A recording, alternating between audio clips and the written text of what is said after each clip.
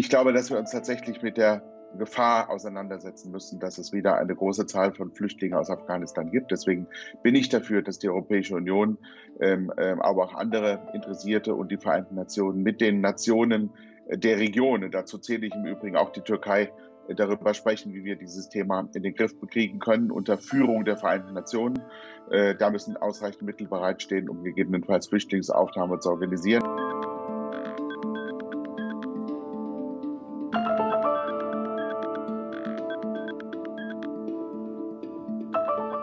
Glaube, wir müssen jetzt den diplomatischen Druck auf die Taliban,